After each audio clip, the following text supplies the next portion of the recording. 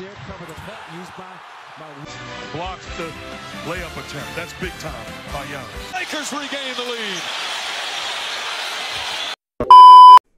I'm not going to spend too much time on this, but Franchise Sports TV back again with another video.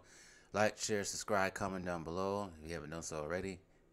Well, subscribe to the channel if you haven't done so already. But um, all that does help improve the channel and get more eyes to the channel. All right, so I think we all know by now LeBron James has returned from his month of being injured. Uh, with his foot injury. Apparently now he has it's been revealed that he has a um, torn tendon in his foot.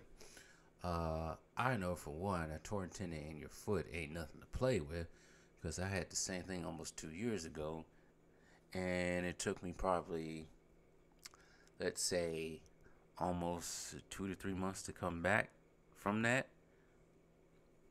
It's nothing to play with. I was in the boot for like at least three or four weeks because for one, I couldn't put a shoe on because my foot was swollen like hell. And basically, I did what LeBron did: opt out of surgery and just let it heal by my, by itself. And the foot has never felt any better now.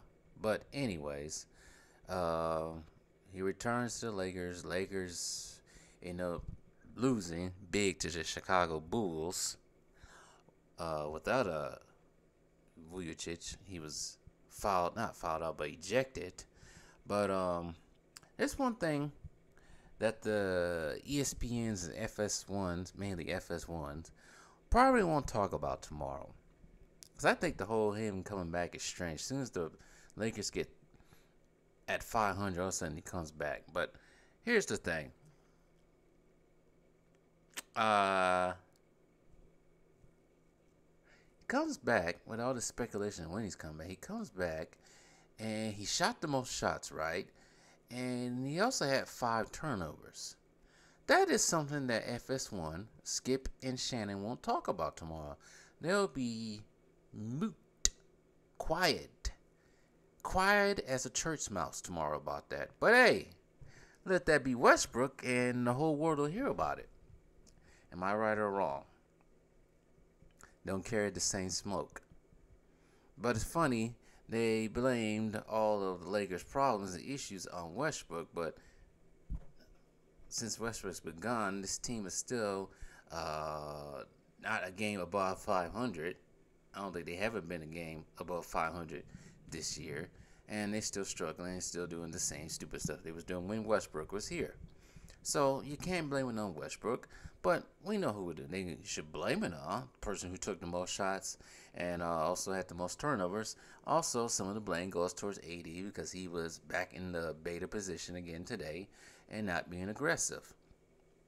Also, they had the rest working for them because I want to say it was eight minutes left in the third quarter. The Lakers already got the bonus. So every time the Lakers would get fouled with some stupid at stupid ass foul call, oh, guess what? They're going to the basket. But it didn't work anyway.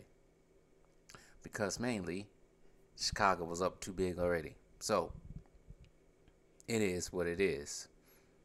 Refs pulled out all the stops to get Vucevic out. He got ejected of a goofy ass call. But, anyways, it is what it is. But I wonder tomorrow if FSN1, or whatever it's called, I wonder if Shaq, I mean, not Shaq, Skip and Shannon will actually talk about those five turnovers. Maybe Skip will, but Shannon would probably ignore it. But anyways, tell me what you